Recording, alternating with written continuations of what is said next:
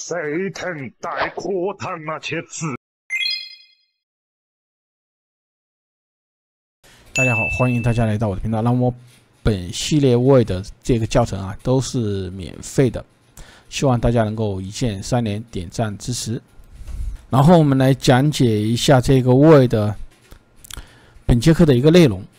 首先有两个知识点，第一个知识点我们会讲解如何使用 AI 技术去给这个位的简单的一个建模，然后我们会讲解如何将啊就是这样的一个建模的一个模型给它导入到 Blend 里面去。那么这就是本节课的两个知识点。那么关于这款软件的一个下载地址，我们可以在这里选择你的一个系统版本进行一个下载就可以了。那么现在我们来演示一下这样的一个 AI 建模技术在实际的一个使用。首先我们还是导入一张图片，然后对它进行快速的进行一个切换。那么我们可以看到，很快的就可以从这样一张图片变成这样的一张图片。然后我们把这样一张图片给它保存，然后再对它进行放大以及细节上，比方说你喜欢这张，好，我们把这张保存。然后我们再对它进行一个修复以及放大，然后我们再把这样的一张图片给它导入到人物中。好，现在我们对它进行放大。那么我们点击这里啊，将这张图片给它导入进来，然后我们就可以看到这件服装的一个效果。那么关于这件服装的这个效果的话，比方说啊，就是如果你觉得这里还有一点缺陷的话，你可以对它进行一个修复工作啊。如果你觉得这一个图片还是不是太清晰，同样的你可以继续使用这样的一个 AI 技术进行一个放大，包括啊这里的一个颜色。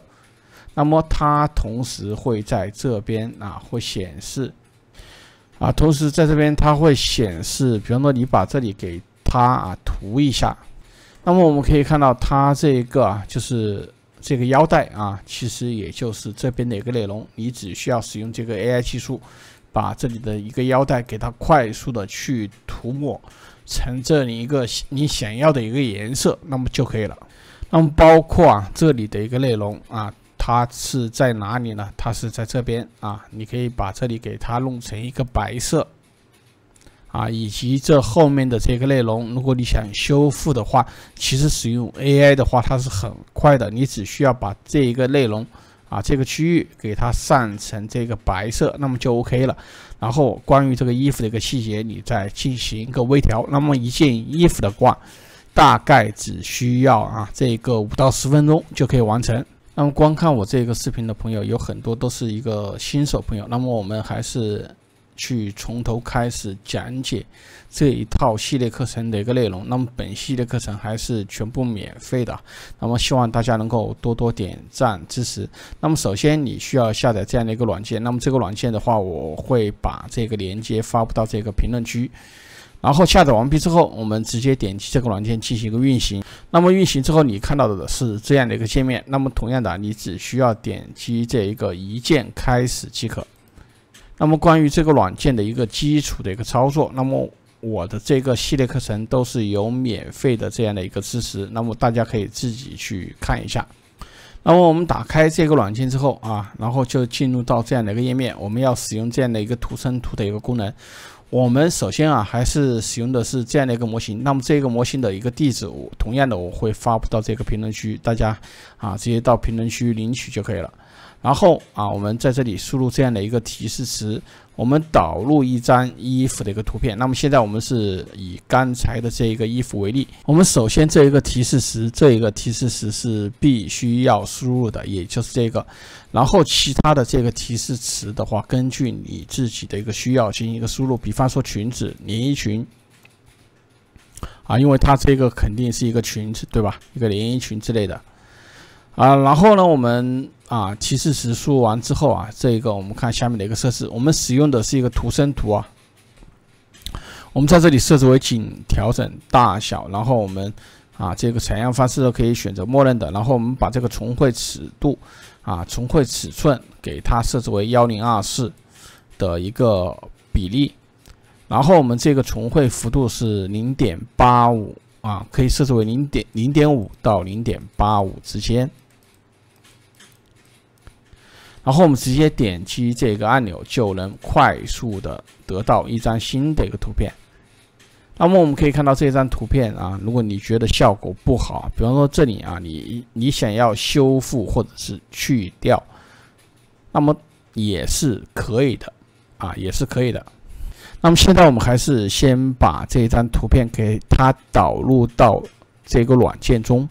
我们将这一张图片给它导入到软件之中啊，我们发觉它的这个整体效果其实还是 OK 的。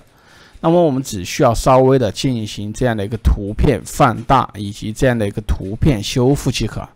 比方说它这个图片的这个花纹啊，对吧？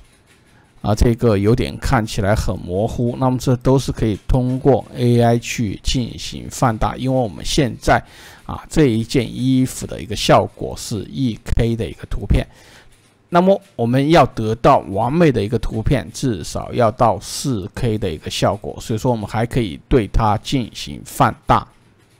那么放大，我们可以使用这样的一个后期处理的一个功能，当然你也可以使用 create AI 啊去进行放大。我们将这张图片导入进来，然后这里有一个缩放比例。那么现在我们是这个，我们可以先设置为一个二。然后我们直接点击这样的一个生成按钮，它会很快的进行放大。但是在 Stable Diffusion 中啊，你放大的话，它是基本上不会对这样的一个图片内容进行一个修复。比方说啊，这里啊，这里一个花，对吧？它如果残缺的话，它是不会修复的。好，我们放大之后，可以把这个图片啊进行保存。保存之后，我们再把这张图片给它导入到软件中。那么现在我们可以看到这张图片，它就是一个 2K 的一个效果。那么它不再是这样的一个模糊。那么我们这样看可能会没有这样的一个明细对比。我们可以把这个给它隐藏起来，然后我们可以看到这里，对吧？我们先给它点击一下。我们看到可以看到它这个花是很模糊的，对吧？然后我们再把这个给它隐藏，我们再开启这个。那么现在我们可以看到它这个花就能看到它的这个花的一个样貌。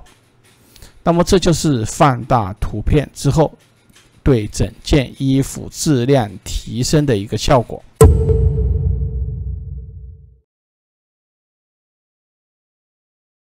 然后我们需要安装这样的一个插件，那么根据你的 Blend 版本啊，去进行一个下载。那么它这里也写明了这个版本号，然后我们点击这里编辑偏好设置，然后我们点击这个从磁盘安装，那么找到我们下载的这一个插件，然后我们点击安装即可。安装完毕之后，我们就可以将这样的一个人物给它导入到 Blender 里面去。